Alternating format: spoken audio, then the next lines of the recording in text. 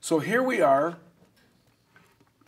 playing Guarapachangueo, and we're still sticking pretty much with, with the form that we've had all along.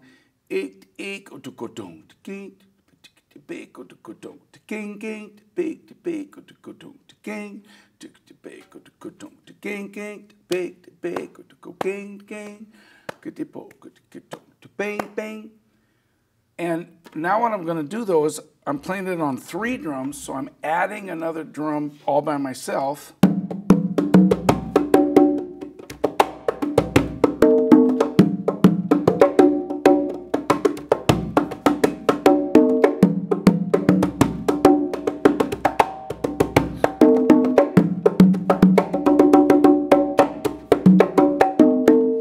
And I'm going to show you how I, I, I think of playing on three drums.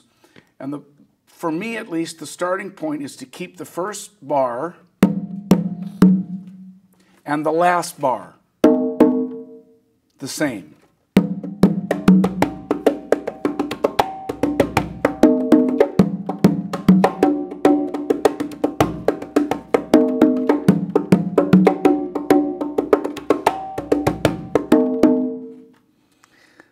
Uh, those are my anchoring points. Let me just play that much with the clave.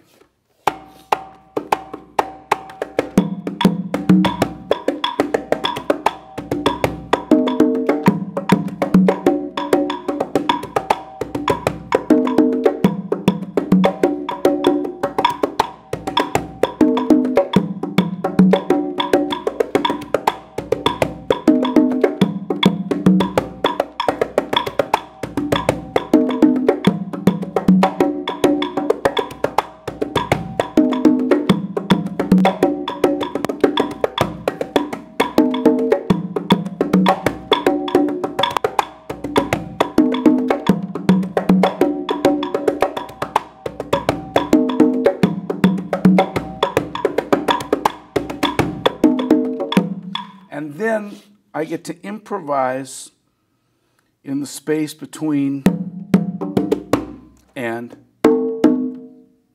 So now I get something like this.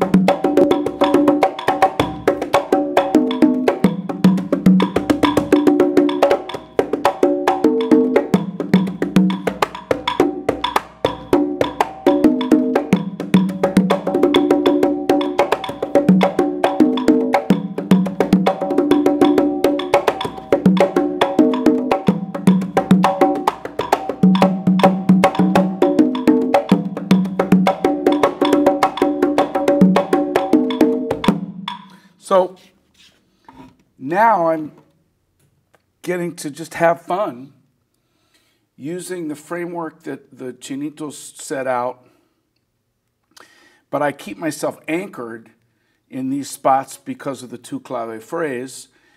I keep myself anchored within the clave, and yet I still have room to open up and, and play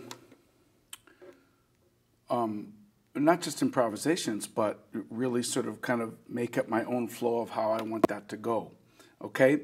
So um, you can divide that up into different ways, playing mainly the form of the low drum and incorporating these two into that, um, or keeping track more of the middle drum and using these drums. You have a lot of different ways that you can go with that. Um, and in the next, next class, I'm going to get a fourth drum and show you sort of my own little take on all of that. Okay? See you at the next class.